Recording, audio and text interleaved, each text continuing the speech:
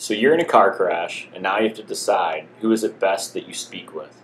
And I can tell you there are two people that you definitely want to talk to. One is the police officer, and two is us. But if you have to talk to anyone in between that, for example, if you do talk to the other driver, remember anything you say to that driver can be admissible, just like anything they say to you is admissible. You may have heard of hearsay on TV and whatnot, but that doesn't apply to you and the other driver in the crash. So be mindful of that. And if you want to talk to your insurance company, that's okay so long as you're trying to work out your property damage. But when it comes time to talking to the other driver's insurance company, don't do that.